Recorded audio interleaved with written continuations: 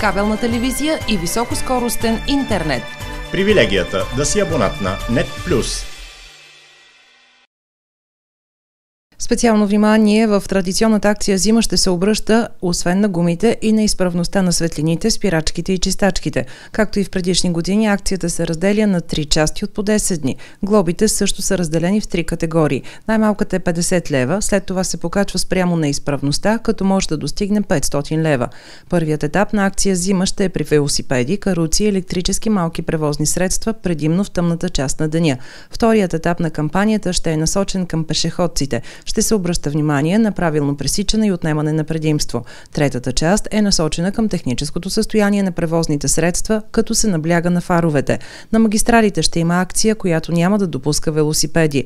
От главна дирекция Пътна полиция отчитат, че миналата година в рамките на акция Зима са проверени над 128 000 превозни средства. Почти 5 000 са констатираните неизправности, а най-честата нередност е неизправност на светлинните системи. В 168 случая са установени износ износени или разкъсани гуми.